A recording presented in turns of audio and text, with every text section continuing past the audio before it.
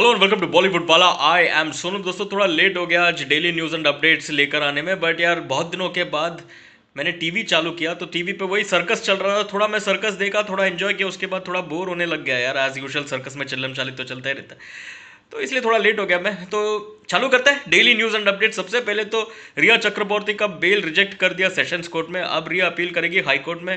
Let see high court bail देता है या जेल देता है will wait for that but from Riya now let's move on to the circus अब नए लोग ऐड हो गए सर्कस में as per a news channel रिया ने एलिजिडली एनसीबी को बताया है कि रकुल प्रीत सिंह, सारा अली खान और सिमोन कम्बाटा खम्बाटा ये कौन सा कम्बाटा है, मैं पहली बार सुन रहा हूँ। तो सारा अली खान रकुल प्रीत सिंह और सिमोन कम्बाटा ये सब लोग मिलके ड्रग्स करते थे। ये रिया का एडमिशन है टू एनसीबी ये एलिगेशन है, ऐसा एक न्यूज़ चैनल ने चलाया दोस्तों। जैसे ये न्यूज़ बाहर आया सारा अली खान रकुल प्रीत सिंह दोनों ट्रेंड होने लग गए। चलो, देखते हैं लेट्स सी क्या होता है, क्या एनसीबी इनको क्वेश्चनिंग के लिए बुलाते हैं कि नहीं बुलाते will wait to see how the circus unfolds दोस्तों now we move on to A R Rahman A R Rahman के बारे में अब खबर आ रहा है कि इनकम टैक्स डिपार्टमेंट उनके खिलाफ हाईकोर्ट में जा चुका है, मद्रास हाईकोर्ट में।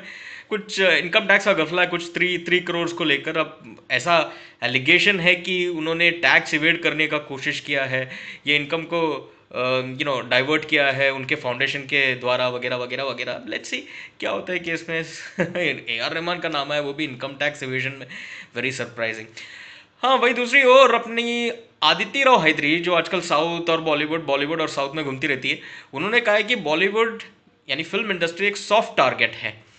और उनको थोड़ा दुख हो रहा है कि उनका लोग मतलब माई पीपल यानी उनका पीपल फ़िल्म इंडस्ट्री का people are in the line of fire and ये जो बॉलीवुड का वेलिफिकेशन हो रहा है, वो इसलिए हो रहा है बॉलीवुड को विलन इसलिए बनाया जा रहा है फ़िल्म इंडस्ट्री को विलन इसलिए बनाया जा रहा है क्योंकि फ़िल्म इंडस्ट्री एक सॉफ्ट टारगेट है।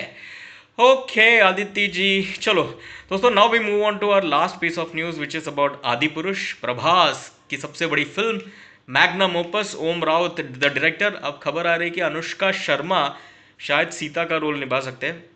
पहली बात तो ये बता दो प्रभास और अनुष्का का जोड़ी बहुत ब्यूटीफुल लगेगा ऑन स्क्रीन बट एक ही क्वेश्चन है यार, अनुष्का तो अभी फ़िलहाल प्रेग्नेंट है. उनका डिलीवरी जब होगा आई थिंक जैन में होगा नेक्स्ट ईयर उसके बाद तो मेटर्निटी लीव पर रहेगी. तो शूट कभी करेगी? दोस्तों, आप लोग बताना. वैसे जोड़ी कैसा लगा ये भी बताना और अनुष्का शूट कर पाएगी कि नहीं कर पाएगी ये भी बताना.